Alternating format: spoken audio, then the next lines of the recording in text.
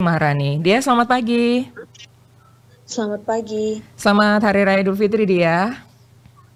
Uh, terima kasih. Mohon maaf lahir dan batin. Mohon maaf lahir dan batin. Terima kasih dia. Uh, silakan. Bagaimana informasi perakiraan cuaca maritim yang bisa disampaikan untuk hari ini? Silakan.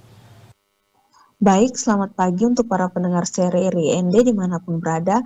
Pagi ini saya akan memberikan informasi terkait perakiran cuaca maritim di wilayah Nusa Tenggara Timur yang berlaku pada tanggal 12 April 2024 pukul 8 pagi Wita hingga 12 April 2024 pukul 8 malam Wita.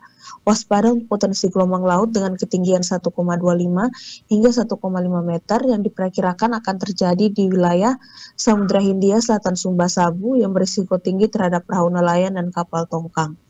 Untuk kondisi cuaca umumnya cerah berawan dan angin umumnya bertiup dari arah timur hingga tenggara dengan kecepatan 4 hingga 20, 4 hingga 20 km per jam diimbau kepada masyarakat agar selalu memperhatikan perakiraan cuaca maritim yang dikeluarkan oleh BMKG Samar Tenau Kupang.